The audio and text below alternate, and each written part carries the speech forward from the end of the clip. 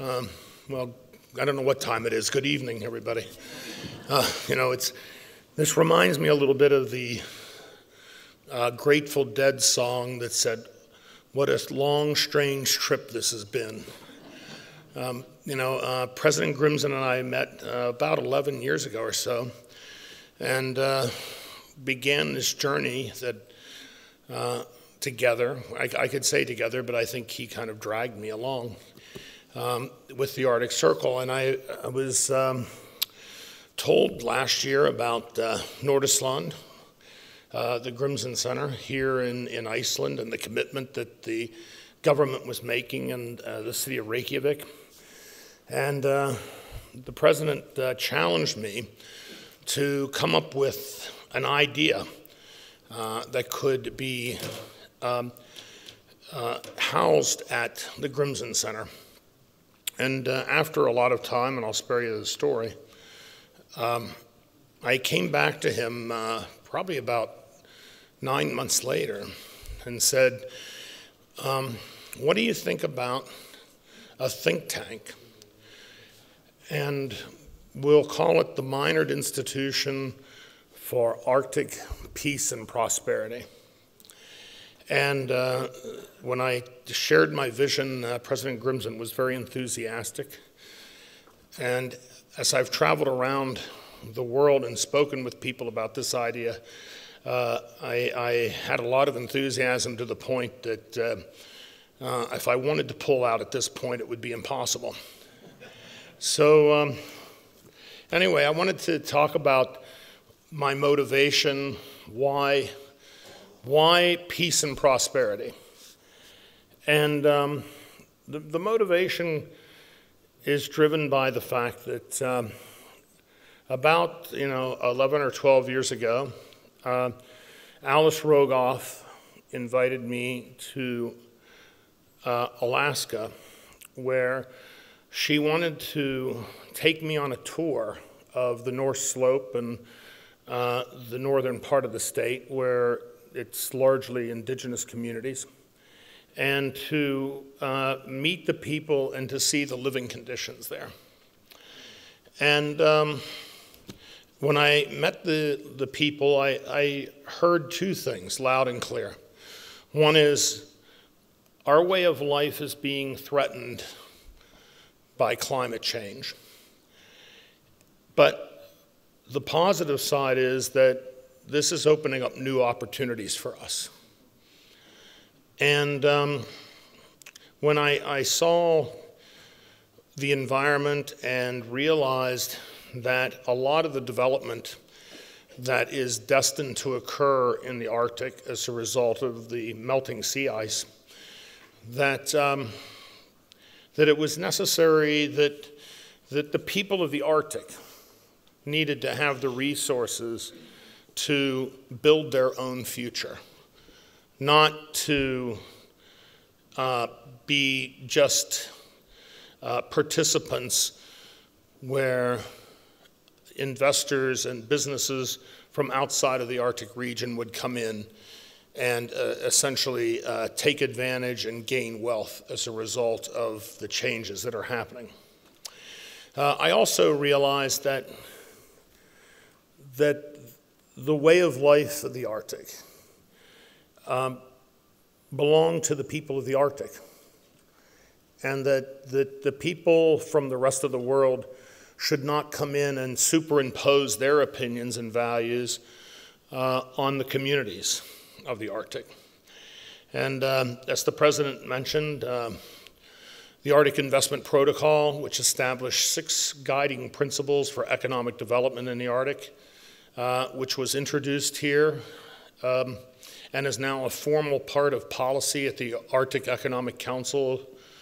Um, you know, sets, sets down six standards, among which at least two of them uh, are concerned with inclusion and, and uh, respect for Arctic peoples and Arctic cultures and their way of life.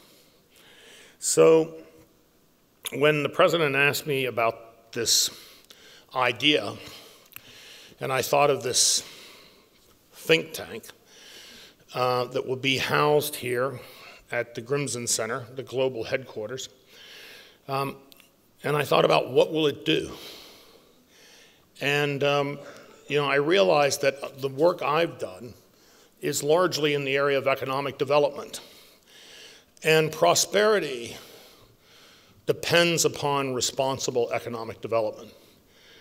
But I also realize that it takes more than economic development to have prosperity. It takes peace. Because you cannot have true prosperity without security and peace. And so, you know, with the melting sea ice of the Arctic, the rapid changes in geopolitics today, uh, the Arctic Ocean will become a sea of blue water, which will be threatened by the interest of the great powers of the earth. Because who will make sure that the policies that are established for the security of the Arctic are determined by the people of the Arctic? And so my vision is twofold. One is to help guide economic development in a responsible way based upon the will of the peoples of the Arctic and to help secure the peace of the Arctic, which is necessary to have true prosperity.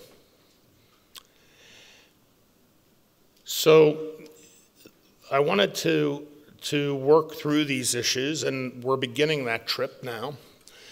Um, I have Mike Sfraga, who is the chairman of the Wilson Center in Washington, D.C., um, has agreed to be my special advisor.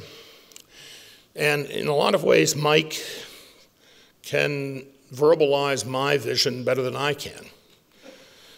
And he said to me when we had a meeting about this, he said, Scott, what you're talking about here is not a think tank. What you're talking about is a do tank. And think tanks write papers and books and give opinions and so on and so forth. The idea is the, the, the work that will be done at the Minerd Institution uh, will be guided by the idea that it needs to be practical, implementable, and that it can also be used and adopted by players both in the public sector and the private sector.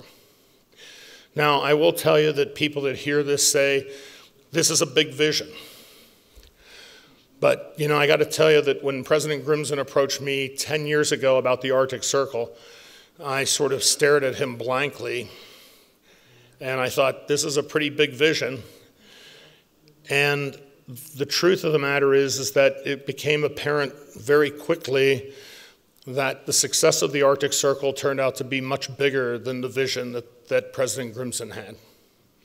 And it's unbelievable to stand here today from that first meeting 10 years ago when we sat in a hotel room and we discussed President Grimsson's vision. So, President Grimsson has an incredible vision for the Arctic, for Iceland. And so I felt that the vision for the Minerd Institution had to be a big vision to fit the president's vision. The last thing I'll leave you with is this is not an American institution.